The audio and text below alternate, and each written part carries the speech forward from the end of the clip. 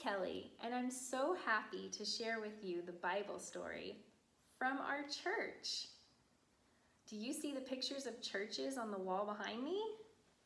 This one is our church.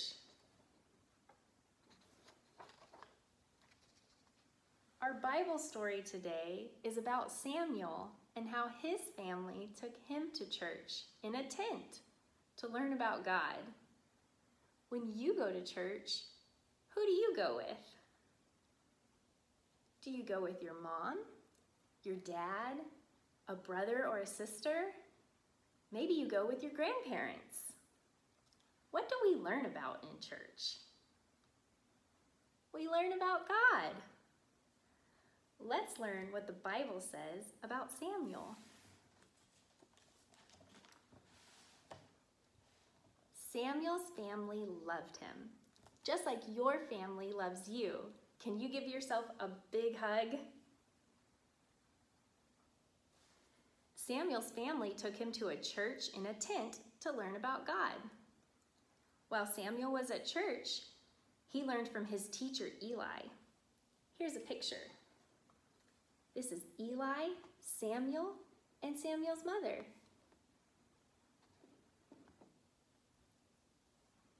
Eli told Samuel to listen to God's words.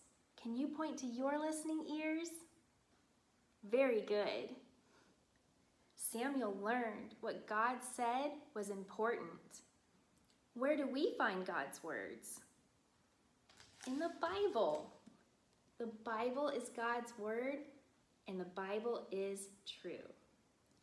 Speaking of God's words, let's learn our Bible verse. Our Bible verse is Come, let us worship God in Psalm 95, verse 6. I like to sing Bible verses so I can remember them. I'm going to sing the Bible verse to you, and then you can sing the Bible verse with me. Come let us worship God, come let us worship God. Psalm 95 verse 6, come let us worship God. Now let's sing it together. Come let us worship God, come let us worship God. Psalm 95 verse 6, come let us worship God. Wonderful job, friends. I pray we get to see each other in church again soon. Take care.